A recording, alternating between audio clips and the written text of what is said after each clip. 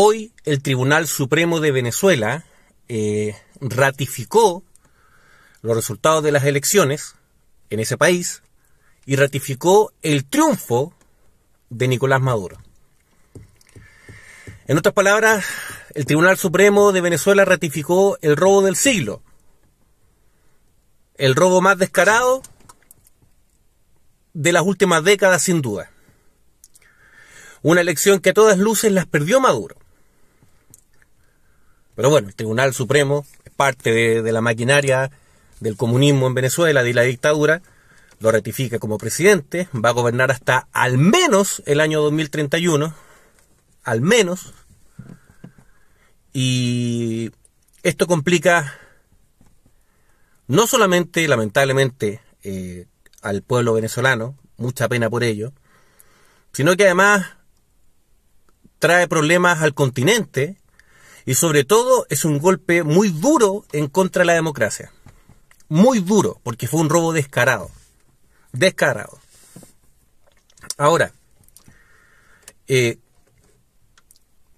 es muy difícil, lo digo yo, pero en realidad yo soy un gallo cualquiera igual que ustedes, sino que lo dicen los expertos, lo dicen los políticos, o en realidad cualquier persona que tenga un poco de sentido común sabe que es muy difícil sacar a este tipo de forma democrática, considerando que esta elección la perdió 70-30 prácticamente y aún así robó las elecciones, es muy difícil que lo saquen. Es muy difícil que, que lo llame un amigo y le diga, oye, ya, pues deja el poder. No, sí, encantado, me voy al tiro. Es muy difícil que salga democráticamente. De la única forma que podría salir es por la fuerza. Pero dudo que eso vaya a ocurrir. Ahora, sin duda, aparte de los venezolanos que son los principales afectados, Chile también va a estar afectado por esto. Porque ya dijeron los expertos que de aquí a diciembre o a principios del próximo año van a comenzar a salir más venezolanos y se espera que salgan entre 4 y 5 millones de venezolanos de más de Venezuela, aparte de los que ya han salido. Algunos se van a ir a Estados Unidos y el resto dónde creen que van a ir. O van a intentar ir. A Chile. A Chile. Yo, amigos míos, siempre he tratado de, ver estas cosas con objetividad. Y, yo no les puedo decir eh, como a modo de, de, fantasía, es que Chile tiene que expulsarlos a todos los venezolanos porque eso nadie lo va a hacer. Díganme ustedes, un país en el mundo, uno solo, de derecha, izquierda, centro, uno solo que haya expulsado a todos los inmigrantes de un país, legales o no. Ninguno. Ningún país ha expulsado a todos los inmigrantes que tengan un país. Ninguno.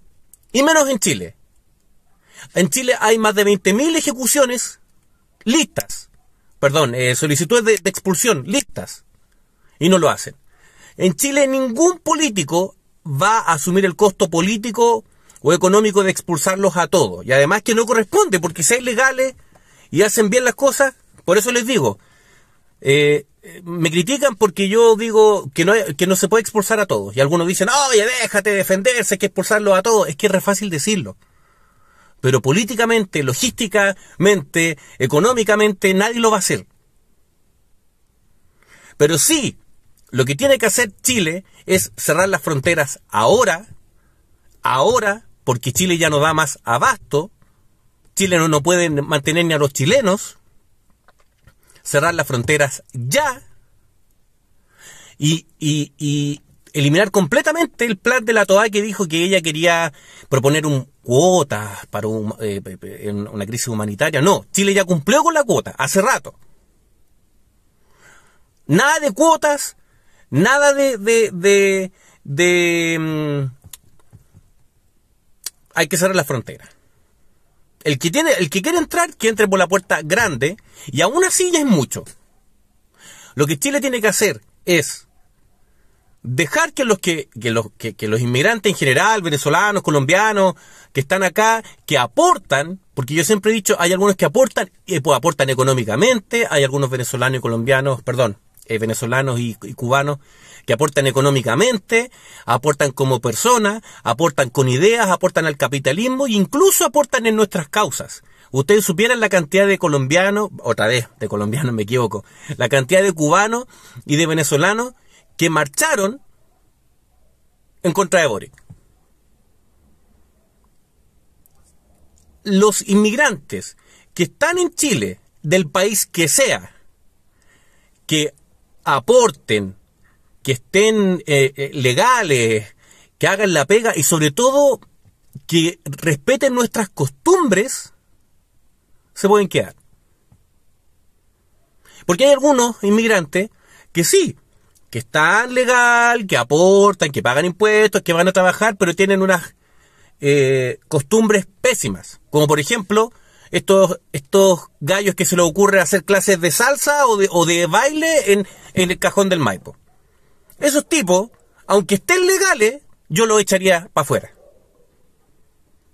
El inmigrante que tiene que estar en Chile tiene que ser una buena persona, venir a trabajar, estar acá eh, aportando en los trabajos que sea, en cualquier nivel, pero sobre todo adaptarse a nuestra costumbre y ser buenos vecinos. Buenos vecinos.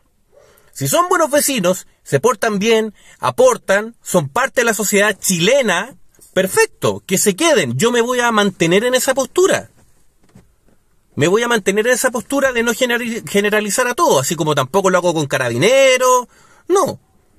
Hay inmigrantes buenos. Lo que pasa es que es impopular decirlo, pero los hay. Que son pocos, estoy de acuerdo, pero los hay. ¿Por qué tendría que irse alguien que viene a trabajar, a aportar, que es buen vecino, que respeta nuestras costumbres, que incluso celebran en las fiestas patrias, que han estado en la causa? No, po. Pero el resto, el que entró de forma ilegal, el que viene a delinquir, el que viene con antecedente, el que está legal, pero tiene costumbres como el forro, para afuera, para afuera. Y eso es lo que tiene que hacer Chile porque se viene una ola muy grande de venezolanos. Entonces los que están acá, perfecto, bien. Bien, se les respeta, trabajen, los que son buenos, los que son buenos vecinos, perfecto. Pero Chile ya no puede dejar entrar a nadie más. Y además tiene que empezar a expulsar a los que están ilegales, a los que tienen antecedentes en otros países, a los que vienen a delinquir, a los que son malos vecinos y a los que no respetan nuestras costumbres. Eso es lo que tiene que hacer Chile, porque Chile ya no da más abasto. Es muy lamentable lo que pasó en Venezuela. Es muy lamentable.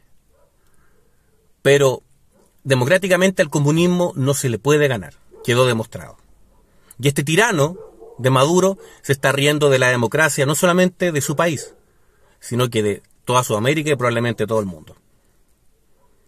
Así que fuerza Venezuela, fuerza Chile, fuerza a los venezolanos que están en Chile haciendo las cosas bien, pero el resto...